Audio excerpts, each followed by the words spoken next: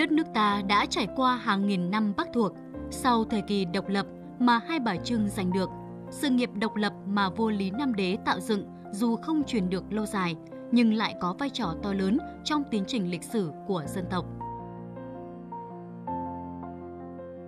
Tại đất Vĩnh Phúc, một trong những nơi thờ tự vị anh hùng dân tộc Lê Bí đó là ngôi đình Bảo Đức ở xã Đạo Đức, huyện Bình Xuyên.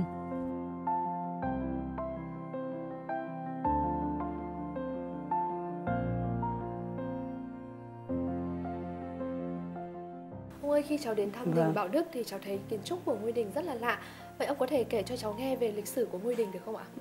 Đình là chúng tôi đã xây dựng vào khoảng cuối thế kỷ 17, đầu thế kỷ 18 cho đến nay cũng đã được trên dưới là 300 năm. Một vị ờ, vua là đã có công đánh ờ, tăng giặc nhà Lương và ờ, thành lập nên nước Vạn Xuân. Đấy, từ đó khi tức là người mất thì dân làng Bảo Đức chúng tôi có lập đền thờ để tức là thờ người và uh, vợ người và con gái của người. Trải qua quá trình à, thăng trầm lịch sử thì ờ, đình chúng tôi trong thời kỳ là chống Pháp ngôi đình này cũng là một à, nơi khu tức là căn cứ đấy, và à, hoạt động du kích đấy, của uh, làng là Võ Đức và bên là xã Tân Phong.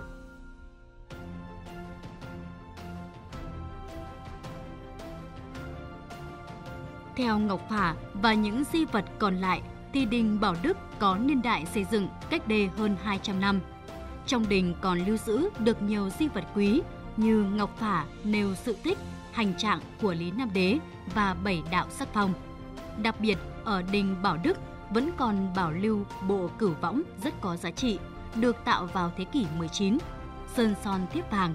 tất cả các nét chạm đều tinh tế, đề tài chủ yếu là tứ linh và tứ quý.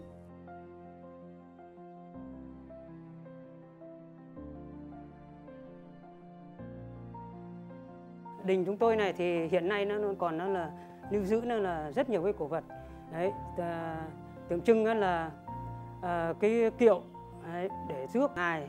đấy, sau những ngày là ngày tiệc à, ngày lễ ngày lớn thì dân làng là sẽ rước kiệu đi đấy, ra xung quanh làng đấy, và sau đó đưa về đình chính để làm lễ và chúng tôi hiện nay còn lưu giữ được bảy các cái song phong rất là quý giá của bảy đời vua đấy là phong tức là cho đình Bảo Đức với mỗi người dân đạo đức, vua Lý Nam Đế không chỉ là người anh hùng dân tộc của buổi đầu dựng nước Vạn Xuân, mà còn là người có công giúp dân làng phát triển. Cụm di tích thờ Lý Nam Đế đã được Bộ Văn hóa Thông tin xếp hạng di tích cấp quốc gia năm 1992, là điểm đến cho mỗi nhà nghiên cứu lịch sử và cho những ai muốn tìm về lịch sử hào hùng của dân tộc từ buổi đầu dựng nước.